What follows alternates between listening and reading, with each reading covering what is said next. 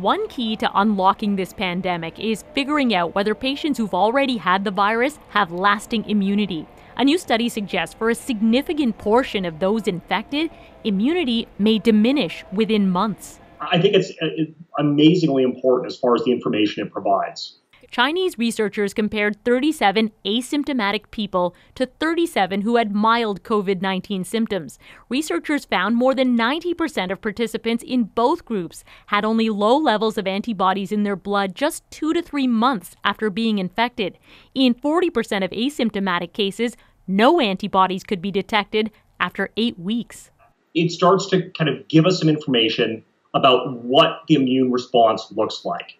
When a virus enters the body, our immune system creates antibodies to stick to it so the virus can't enter our cells. Having few or no lasting antibodies doesn't necessarily mean the person can be reinfected right away. Other virus killing cells might jump into action, but experts say it does cast doubt on antibody testing. Until we know exactly what part of the immune system is protective, it's difficult to be able to do a test and tell someone you're safe or not.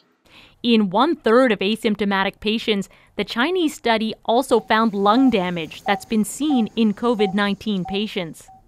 Experts say larger studies are certainly needed, but it's estimated at least 20% of those infected with this coronavirus are asymptomatic.